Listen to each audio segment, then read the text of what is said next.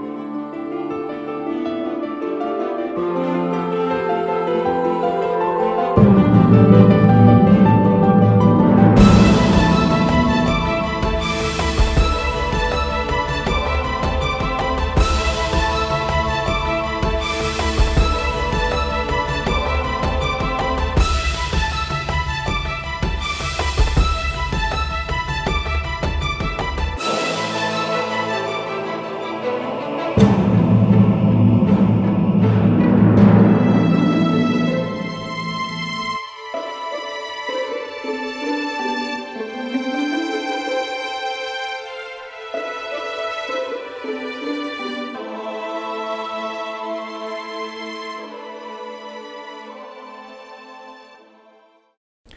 Αγαπητοί μου φίλοι και φίλες, χαίρετε. Ευχαριστούμε πάρα πολύ τον Κύριό μας, τον Ιησού Χριστό που μας αξιώνει και σήμερα να είμαστε μαζί στην εκπομπή αυτή με τίτλο «Απαντήσεις μέσα από το Λόγο του Θεού». Είναι η εκπομπή αυτή μέσα από την οποία προσπαθούμε μέσα από το Λόγο του Θεού και μόνο μέσα από το Λόγο του Θεού πάντοτε να σχολιάζουμε όλα τα ζητήματα και τα θέματα τα οποία σας απασχολούν και μας στέλνετε με email στην διεύθυνση που τώρα αναγράφετε στις οθόνες σας. Θέλουμε μια φορά ακόμη να τονίσουμε ότι ποτέ μας δεν διεκδικήσαμε την αυθεντία της αρμενίας των γραφών, ούτε ποτέ θεωρήσαμε τους αυτούς μας ότι είμαστε διδάσκαλοι, καθηγητές ή θεολόγοι. Εκείνο το οποίο πιστεύουμε και ισχυριζόμαστε ότι είμαστε είναι μαθητές του Ιησού Χριστού, όπου μαθητεύουμε μέσα από το Λόγο του Θεού και μόνο μέσα από το Λόγο του Θεού, μαζί με όλους εσάς, ε, για όλα τα ζητήματα που μας απασχολούν στην καθημερινότητά μας. Σήμερα με τη χάρη του Χριστού θα αρχίσουμε με έναν αγαπητό φίλο μας, ανώνυμο, ο οποίος μας γράφει. Καλησπέρα σας.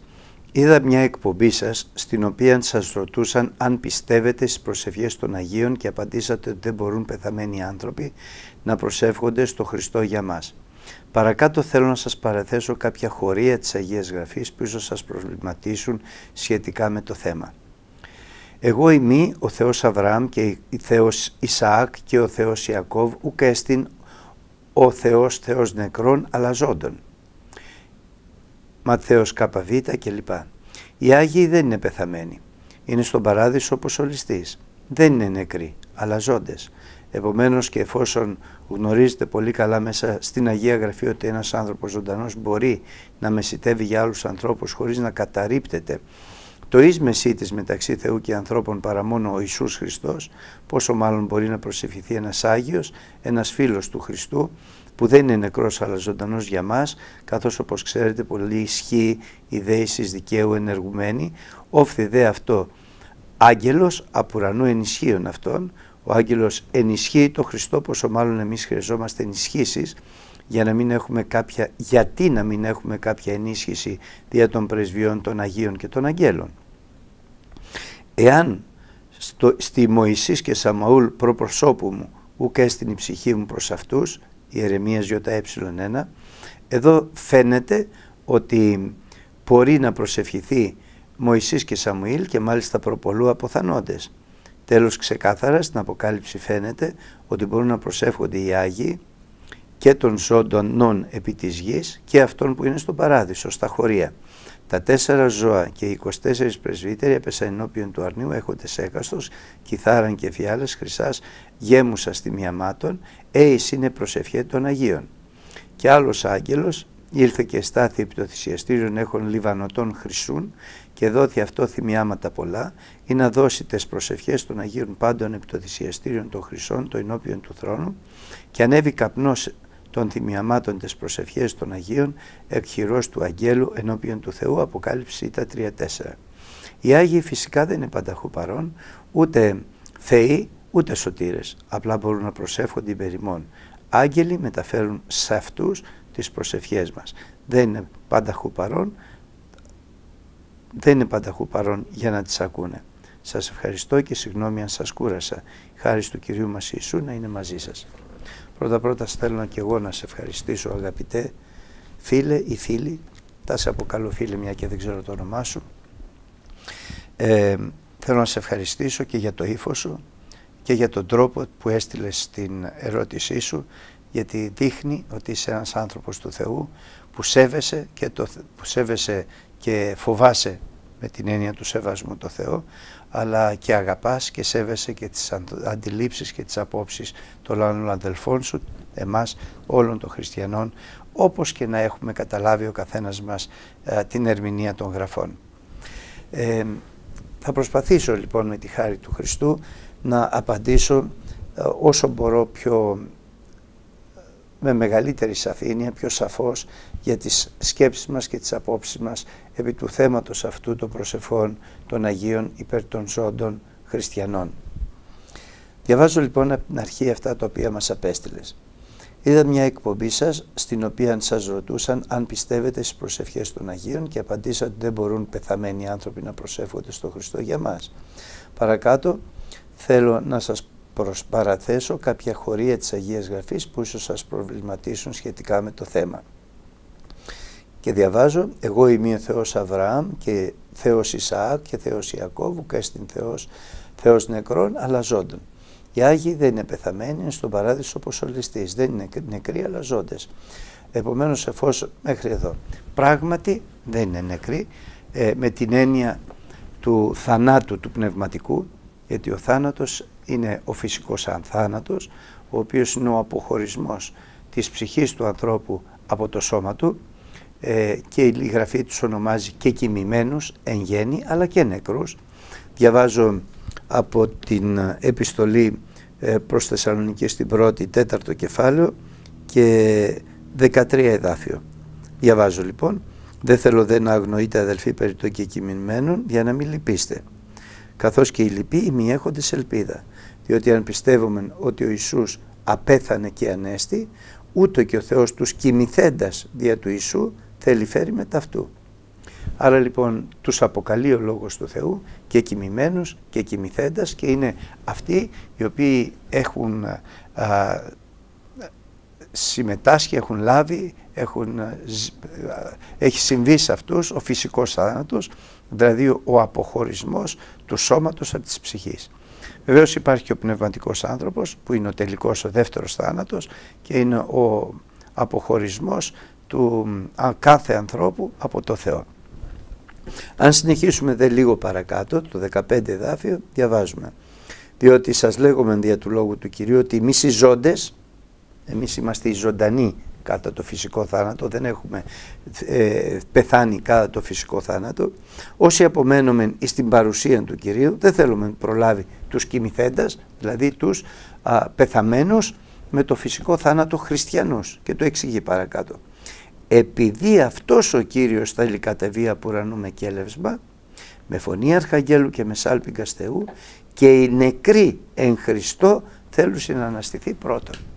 Άρα λοιπόν υπάρχουν οι νεκροί κατά το φυσικό άνθρωπο, συγγνώμη, κατά το φυσικό θάνατο, που είναι οι κοιμηθέντες, δηλαδή αυτοί που απεχωρίστησαν από το σώμα τους, το εξωτερικό, και βρίσκονται στον παράδεισο όπως ο ληστής που λες παρακάτω και είναι ζωντανός, αποκαλείται όμως νεκρός κατά το φυσικό άνθρωπο, θάνατο.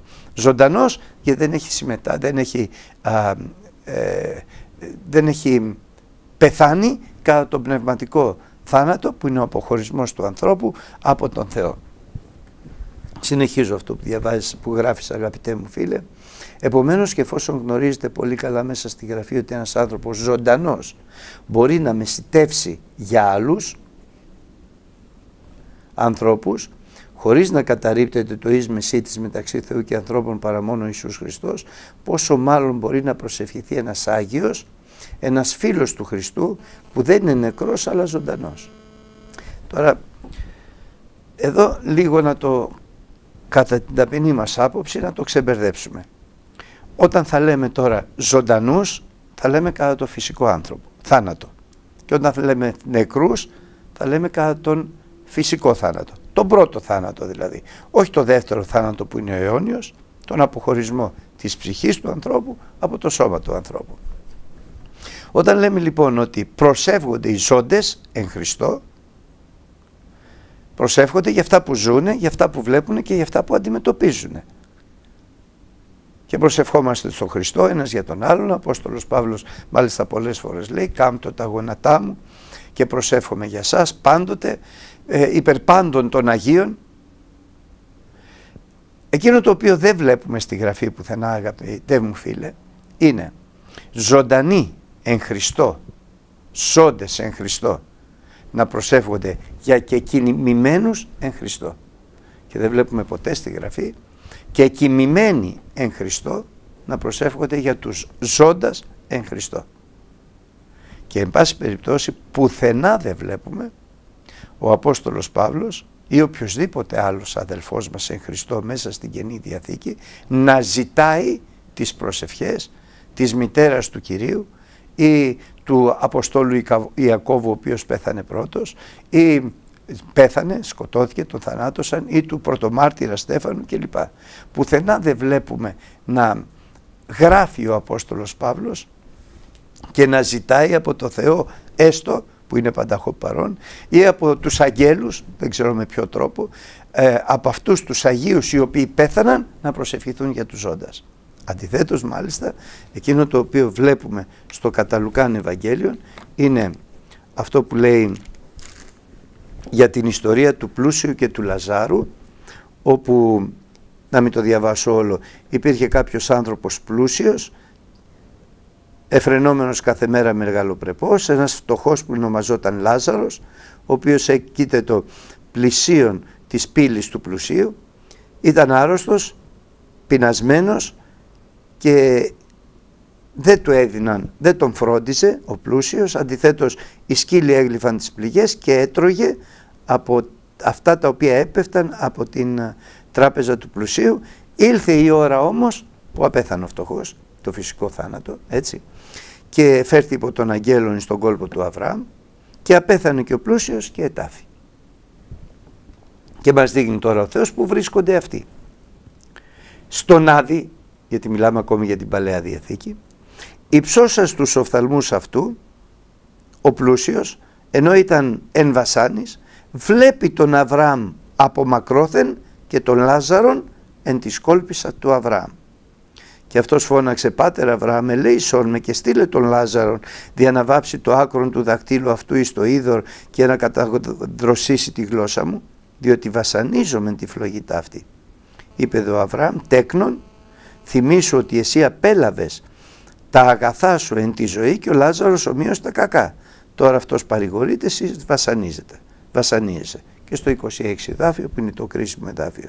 Και εκτός του των πάντων, μεταξύ ημών και ημών χάσμα μέγα είναι στηριγμένον, ώστε οι θέλοντες να διαβώσει εντεύθεν προς εσάς, να μην δίνατε ουδέ εκείθεν να διαπερώσει προς εμάς. Είπε τότε, σε παρακαλώ πάτερ, στείλε αυτόν εις τον οίκο του πατρός μου, διότι έχω πέντε αδελφούς για να μαρτυρήσεις αυτούς, ώστε να μην έρθω σε αυτή στον τόπο τούτο της Βασάνου. Και ο Αβραάμ απάντησε έχουν το λόγο του Θεού. Το Μωυσή και τους προφήτας ας ακούσουν αυτούς. Ο δε είπε όχι πάτερ Αβραάμ αλλά εάν τις από νεκρόν υπάγει προς αυτούς θέλουν συμμετανοήσει. Είπε δε προς αυτόν εάν τον Μωυσή και τους προφήτας δεν ακούσωση ούτε αν της αναισθηθεί εκ των νεκρών θέλει πιστή και μιλάει για την Ανάσταση βεβαίως του Χριστού που δεν δέχτηκαν, όσοι δεν δέχτηκαν την Ανάσταση του Χριστού που ήλθε από τον Άδη και κήρυξε και πάλι για 40 μέρες αλλά και έκτοτε δια του Πνεύματος του Αγίου το οποίο απέστειλε το εκπορευόμενο εκ του Πατρός διά του Ιησού Χριστού στους ανθρώπους κήρυξε τα μυστήρια της Βασιλείας των Ουρανών. Άρα αγαπητέ μου αδελφέ και φίλε, όσο και αν έχω ψάξει στη γραφή, πουθενά δεν έχω βρει κανέναν αδελφό εν Χριστώ Ιησού να προσέφιεται για τους κοιμηθέντας εν Χριστώ, για τους νεκρούς εν Χριστώ ή και για τους εν γέννη κοιμηθέντας ανθρώπους και όχι εν Χριστώ και πουθενά δεν έχω δει μέσα στη Γραφή κάποιον Άγιο άνθρωπο του Θεού να ζητάει να προσευχηθεί κάποιος νεκρός εν Χριστώ για αυτόν ή για κάποιους άλλους. Αντιθέτως έχω δει σε όλη τη Γραφή όλοι οι Άγιοι οι ζώντες εν Χριστώ να προσεύχονται υπερπάντων των ανθρώπων και των Αγίων. Τώρα, συνεχίζω για εμάς καθώς ξέρετε πολλά ισχύει δέησης δικαίου ενεργουμένη. Αμήν. Αυτό είναι αλήθεια. Το λέει η Γραφή. Όφθη δε αυτό άγγελος από ουρανού ενισχύουν αυτόν. Ο άγγελος ενισχύει τον Χριστό, πόσο μάλλον εμείς χρειαζόμαστε ενισχύσεις. Γιατί να μην έχουμε τέτοια ενίσχυση για των πρεσβειών των Αγίων και των Αγγέλων; Ο άγγελος έχει ένα συγκεκριμένο έργο. Οι άγγελοι του Θεού έχουν ένα συγκεκριμένο έργο που περιγράφεται πάρα πολύ καλά ε, μέσα στο Λόγο του Θεού. Θα διαβάσω λοιπόν από το Καταλουκάν Ευαγγέλιον το πρώτο κεφάλαιο και το 19 εδάφιο είναι το περιστατικό όπου ο Γαβριήλ, ο άγγελος του Κυρίου, επισκέφτεται τον Ζαχαρία για να τον ευαγγελίσει, να τον πληροφορήσει ότι η γυναίκα του η Ελισάβετ, η στήρα, στα γεράματά της θα συλλάβει και θα γεννήσει ιόν και μάλιστα τον Ιωάννη το βαφτιστή. Διαβάζω λοιπόν από το 19 εδάφιο. Και αποκριθής ο άγγελος είπε προς αυτόν «Εγώ είμαι Γαβριήλ, ο παριστάμενος ενώπιον του Θεού και απεστάλην δια να λαλήσω προς σε και να σε ευαγγελίσω ταύτα». Άρα λοιπόν οι άγγελοι είναι όπως λέγει και στην επιστολή προς Εβραίους ο Απόστολος Παύλος λειτουργικά πνεύματα εις υπηρεσίαν αποστελόμενα δια τους μέλλοντας να κληρονομήσω στην σωτηρία. Άγγελος σημαίνει αγγελιοφόρος, μηνυτής. Βεβαίως ο άγγελος ενίσχυσε τον Ιησού Χριστόν. Βεβαίως άγγελοι εάν αποσταλούν από τον Πατέρα ή να φέρουν μήνυμα γιατί και προς τον Χριστό έφερε μήνυμα αλλά και τον ενίσχυσε. Καμία αμφιβολία σε αυτό. Εμείς όμως τώρα οι χριστιανοί δεν ενισχυόμεθα από αγγέλους παρόλο που ο Θεός μπορεί να το κάνει όπως το έκανε στον Απόστολο Παύλο όταν βρισκόταν σε μεγάλη απελπισία στο ταξίδι του για τη Ρώμη που όταν απεσκέφθη άγγελος διαβάζω από την, ε, από τις πράξεις των Αποστόλων ΚΖ 23 διότι τη νύχτα ταύτην εφάνισε με άγγελος του Θεού του οποίου είμαι και λατρεύω λέγον μη φοβού Παύλε πρέπει να παρασταθείς ενώπιον του Κέσαρος και ιδού ο Θεός χάρισε πάντα στους πλέοντας μετά σου. Δια τούτο θα ρείτε άνδρες διότι πιστεύω εις τον Θεόν ότι ούτω θέλει γίνει καθόν τρόπον ελαλίδη προς εμέ.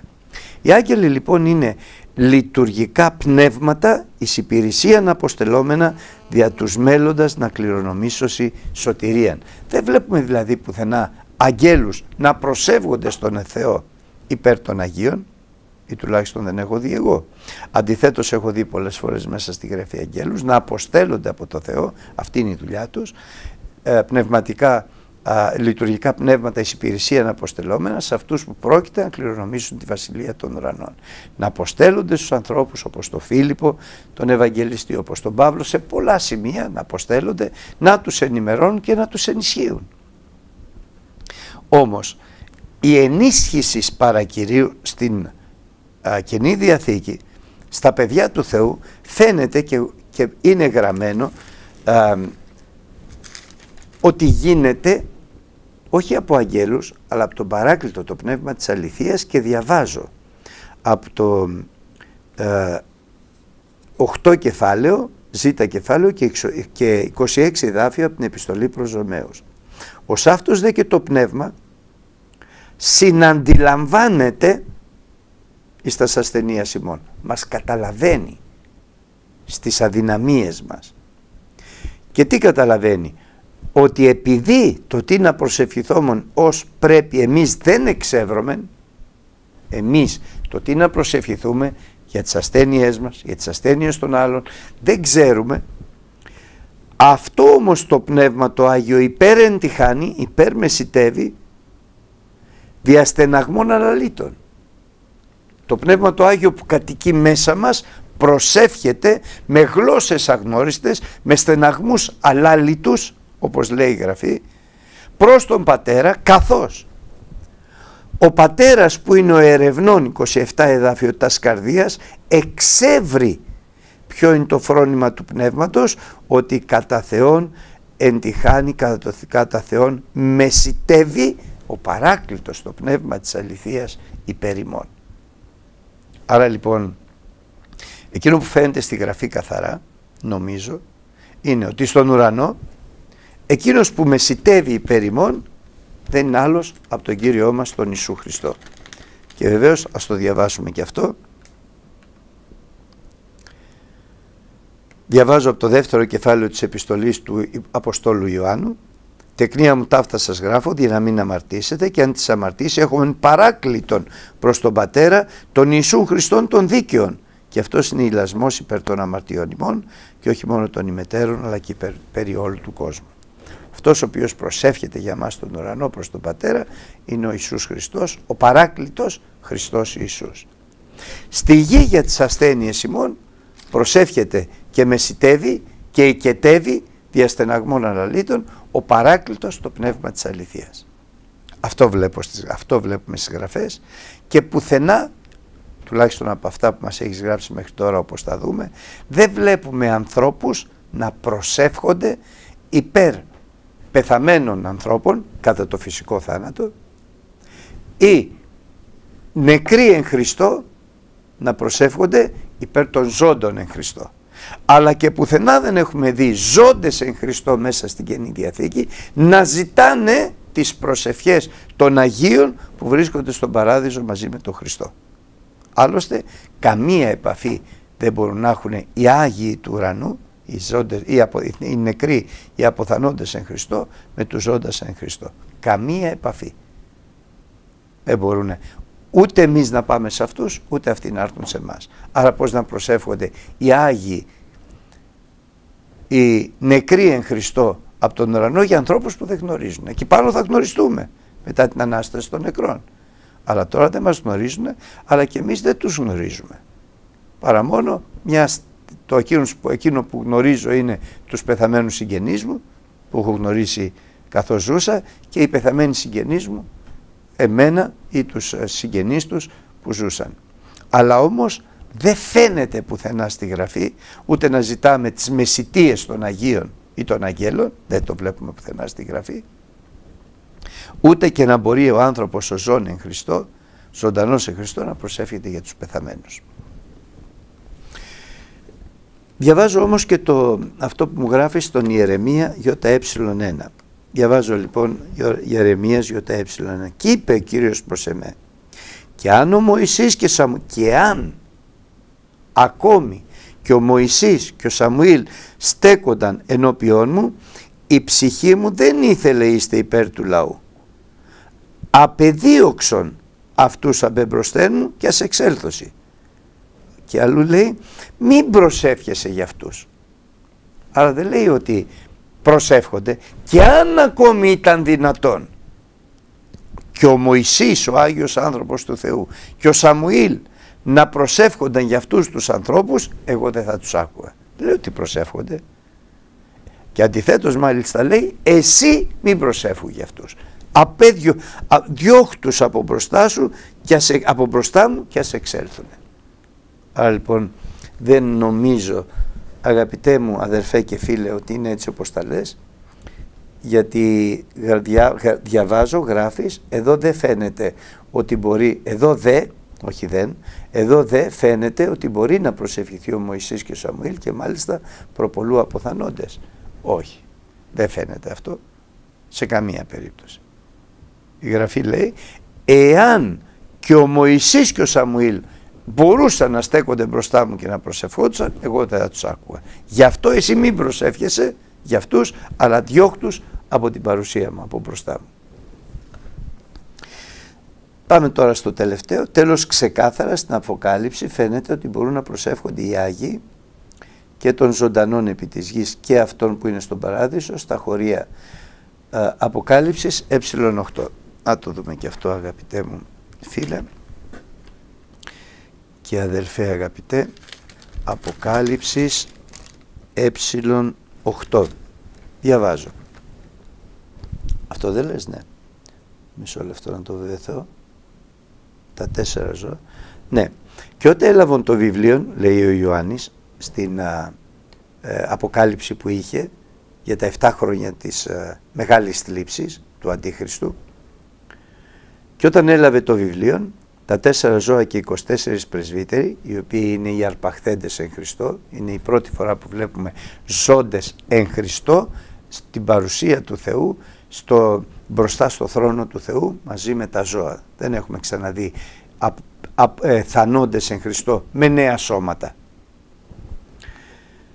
Τα τέσσερα ζώα και οι 24 πρεσβύτεροι έπεσαν ενώπιον του αρνίου, έχοντες έκαστος κιθάρας και φιάλας χρυσάς, πλήρης διαμάτων, ήτινες είναι οι προσευχές των Αγίων και ψάλουσιν νέαν οδύν λέγοντες, άξιος είσαι να λάβεις το βιβλίο και να ανοίξεις τα σφραγίδας αυτού, διότι εσφάγεις και η γόρα σας ημάσει των Θεών, δια του αίματος σου εκ πάσης φυλής και γλώσσης και λαού και έθνους, και έκαμες σημάσεις των Θεών, βασιλείς και ιερείς και θέλομεν βασιλεύσει επί της γης.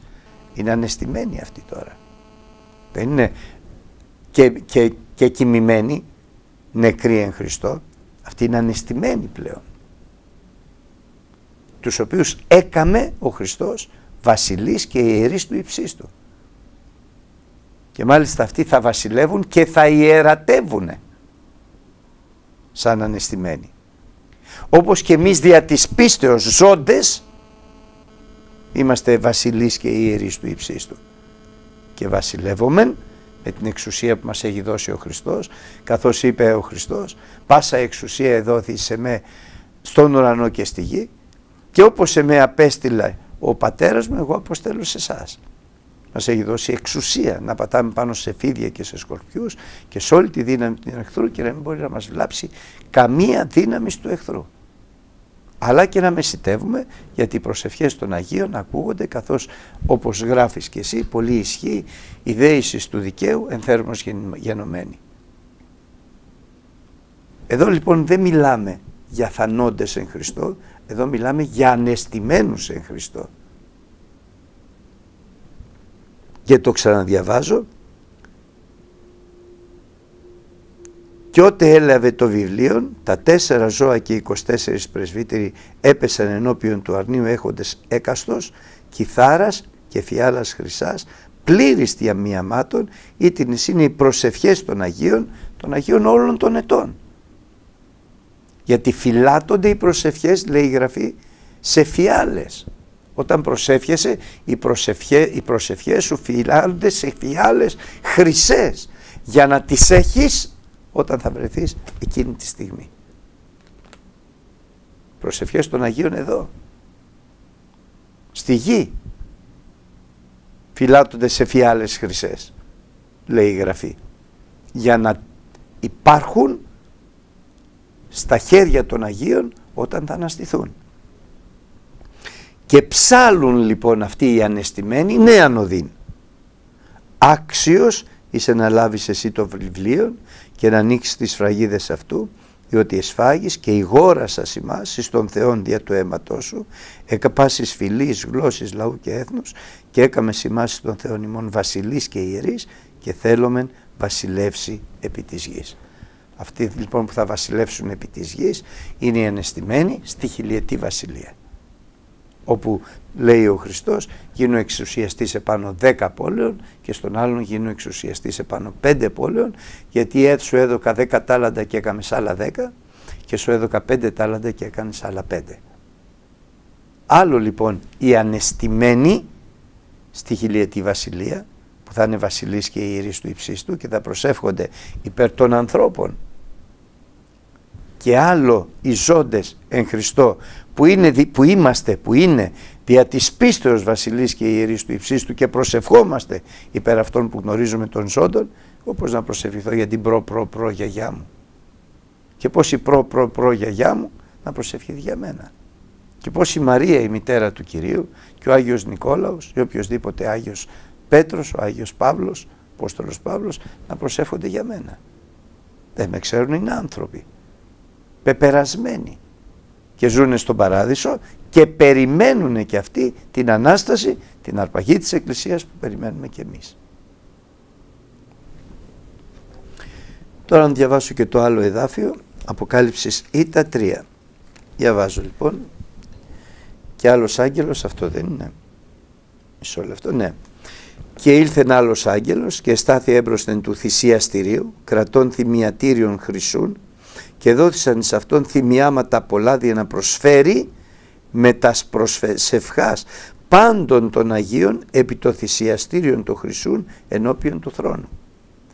Και ανέβη ο καπνός των θυμιαμάτων με τας προσευχάς πάντων των Αγίων εκ της χειρός του αγγέλου ενώπιον του Θεού και έλαβε ο άγγελος το θυμιατήριον και γέμισε αυτό εκ του πυρός του θυσιαστηρίου και έριψεν στη γη και έγιναν φωνέ και βροντέ και αστραπέ και σεισμός και οι επτά άγγελοι έχονται στα επτά σάλπιγγας ετοίμασαν εαυτούς για να σαλπίσωση. Εδώ μιλάμε για την εβδόμη σάλπιγγα της οργής του Θεού που φέρνει ο Θεός τις δίκαιες προσευχές όλων των Αγίων και ιδιαίτερα των Αγίων που ταλαιπωρούνται στην εφταετία του Αντίχριστου καθώς διαβάζω και στην πέμπτη σφραγίδα δηλαδή στο έκτο κεφάλαιο και όταν ίνιξε την πέμπτη σφραγίδα είδον υποκάτω του θυσιαστηρίου τα ψυχάς των εσφαγμένων δια των λόγων του Θεού και δια την μαρτυρία την οποία είχον και έκραζον με τα φωνής μεγάλης οι εσφαγμένοι δια των λόγων του Θεού από τον Αντίχριστο και τα στρατεύματά του έως πότε ο δέσποτα Άγιε και αληθινέ δεν κρίνεις και εκδικείς το αίμα ημών από τον κατοικούντων επί της γης. Άρα ζητάνε κρίση και εκδίκηση από αυτά που πέρασαν όχι η Εκκλησία του Χριστού αλλά οι όλοι οι Άγιοι, αυτοί δηλαδή που κατάλαβαν ότι ο Αντίχριστος είναι ο Αντίχριστος και δεν είναι ο Υιός του Θεού, δεν είναι ο Μεσσίας και δεν δέχθησαν να βάλουν το, το χάραγμα του Αντίχριστου, το 666, το δεξιχέρι στο μέτωπο. Αυτοί ταλαιπωρούνται, φωνεύονται, βρίσκονται κάτω από το θυσιαστήριο και περιμένουν και αυτή την Ανάστασή τους. Μαζί με όλη την, την Παλαιά Διαθήκη. Αυτού, αυτές λοιπόν οι προσευχές των Αγίων έρχονται πλέον με τον άγγελο στον Θεό όπου ο άγγελος λαμβάνει α, όπως λέει το διαβάζω από μέσα και έλαβε ο άγγελος το θυμιατήριο και γέμισε αυτό εκ του πυρός του θυσιαστήριου και έλειψε στη γη και έγιναν φωνέ και βροντέ και, και αστραπέ και σεισμός. Εδώ λοιπόν μιλάμε τώρα για την κρίση, για τη μεγάλη θλίψη, για την οργή του Θεού. Καμία σχέση με τις προσευχές των Αγίων, των Ζώντων ή των κεκοιμημένων. Καμία σχέση. Κατά την ταπεινή μας γνώμη και έτσι όπως το έχουμε καταλάβει και εμείς. Και διαβάζω και το τελευταίο κομμάτι σου. Οι Άγιοι φυσικά δεν είναι πανταχού παρόν βεβαίως, ούτε είναι θεοί βεβαίως, ούτε είναι σωτήρες βεβαίως, αλλά μπορούν να προσεύχονται περιμόν. Όχι βεβαίως. Δεν το βλέπω. Αυτό είναι μια σκέψη ότι μπορούν να προσεύχονται. Θα έλεγα και λογική. Αλλά δεν το βλέπω στη γραφή και εγώ δεν εμπιστεύομαι τη λογική μου σκέψη, αλλά εγώ πιστεύουμε το Λόγο του Θεού, το γεγραμμένο Λόγο του Θεού. Πουθενά δεν βλέπω και κοιμημένους να προσεύγονται υπέρ των ζώντων. Και πουθενά δεν βλέπω ζώντες εν Χριστώ να ζητάνε τις προσευχές των και κοιμημένων χριστιανών. Και τελειώνεις, οι άγγελοι μεταφέρουν σε αυτούς τις προσευχές μας. Δεν είναι πανταχού παρόν να τις ακούνε. Δεν το βλέπουμε πουθενά αυτό. Οι άγγελοι δεν μεταφέρουν τα νέα στο Θεό, γιατί ο Θεός γνωρίζει τα πάντα. Δηλαδή υπάρχει ανάγκη τη δική μου προσευχή προς το Θεό να τη μεταφέρουν άγγελοι στο Θεό αφού μας ακούει. Δεν με ακούει όταν προσεύχομαι. Αλλήμονό μας. Αν χρειάζεται άγγελοι να μεταφέρουν σε αυτούς τις προσευχές μας. Γιατί; Και εν πάση περιπτώσει δεν είναι γραμμένο. Όμως θα επιμείνω μια φορά ακόμη αγαπητέ μου, αγαπητέ μου αληθινά άδελφε, ότι έτσι το έχουμε καταλάβει εμείς. Αλλά και στην, στα γεγραμμένα των Αποστολικών Πατέρων, δηλαδή των μαθητών των μαθητών του Χριστού, δηλαδή μέχρι το 150-160, πουθενά μα πουθενά δεν φαίνεται και, και κοιμημένοι Άγιοι να περιγράφονται ότι προσεύχονται υπέρ ημών. Αυτή η μεσητεία ανθρώπων και κοιμημένων προζώντας πολλά πολλά χρόνια αργότερα ήρθε μέσα στην Εκκλησία του Χριστού. Όπως και οι προσευχές των ζώντων υπέρ των και κοιμημένων πολλά πολλά χρόνια αργότερα ήρθε μέσα στην Εκκλησία του Χριστού.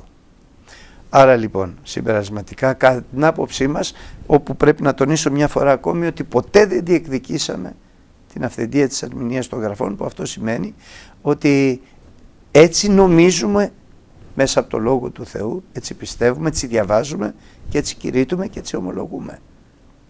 Τώρα αν κάνουμε λάθος, ο Θεός να μας φωτίσει όλους, να μας ελεήσει, γιατί εμείς δεν θέλουμε να κηρύττουμε λάθη, δεν θέλουμε να δολώνουμε το Λόγο του Θεού, να νοθεύουμε το Λόγο του Θεού. Και δεν πιστεύω ότι ο Θεός θα μας αφήσει να είμαστε πλανημένοι εφόσον εξητάμε από το Θεό την αλήθεια και μελετάμε το Λόγο του Θεού. Καθώς λέγει ο Χριστός ταύτα μελέτα εις ταύτα μένε για να είναι φανερή προκοπή σε όλους τους ανθρώπους μελετάμε τις γραφές. Δεν λέμε δικά μας πράγματα δεν θέλουμε να λέμε δικά μας πράγματα. Και πιστεύω ότι ο Θεός και αν κάνουμε λάθος θα μας φωτίσει να το διορθώσουμε. Άλλωστε η γνώση λέει η Γραφή φυσή εκείνο που οικοδομεί τους χριστιανούς μεταξύ μας είναι η αγάπη. Άρα λοιπόν και αν κάτι έχεις καταλάβει διαφορετικά, γιατί με ειλικρίνεια το έχεις καταλάβει και αν κάτι έχω καταλάβει διαφορετικά και δεν αμφισβητώ την ειλικρίνειά σου και εσύ από ό,τι φαίνεται δεν αμφισβητείς την ειλικρίνειά μου, δεν είναι αυτό που θα μας χωρίσει, αλλά αυτό που θα μας ενώσει είναι η αγάπη του Χριστού που συσφίγγει μας. Γι' αυτό με πολύ χαρά σου εύχομαι αγαπημένε μου αδερφέ και φίλε, ο Κύριος να σε ευλογήσει πλούσια, να σε φωτίζει πάντοτε, να μας φωτίζει όλους μας ώστε να φτάσουμε πια όλοι μαζί λίγο πριν την αρπαγή της Εκκλησίας όπως μας λέγει ο Λόγος του Θεού στο όρο στο οποίο θα υψωθεί υπεράνω πάντων των βουνών και εκεί θα μας διδάσκει ο ίδιος ο Ιησούς Χριστός ώστε να μην υπάρχουν διαφορετικές απόψεις. Μέχρι τότε όμως ας μείνουμε στο η αγάπη οικοδομή ότι η αγάπη του Χριστού μας εισφύγει και αν προσευχόμαστε ο ένας για τον άλλον ο Θεός να μας ευλογήσει, σου εύχομαι να σε ευλογήσει ο Θεός πολύ, περισσότερο από εμάς, έτσι πως θέλει ο Θεός να προσευχόμαστε και όλοι μας οι αγαπημένοι και ενωμένοι να εισέλθουμε πλουσίως δια των πυλώνων εκείνη την ημέρα στη Βασιλεία των Ουρανών. Εκείνο λοιπόν που έχω να πω σε σένα, αλλά και σε όλους μας, είναι με τη χάρη του Χριστού καλή αντάμωση στη Βασιλεία των Ουρανών. Ο Θεός μαζί σου αγαπητέ φίλε και αγαπητοί μου φίλοι και φίλες και σας εύχομαι κάθε ευλογία πνευματική στα επουράνια για του Ιησού Χριστού του Κυρίου Αμήν.